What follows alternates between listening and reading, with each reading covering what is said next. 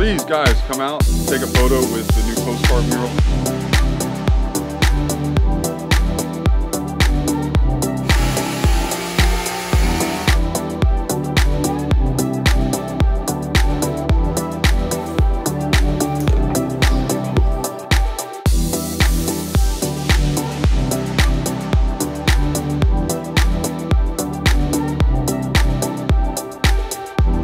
It's, it's super unique.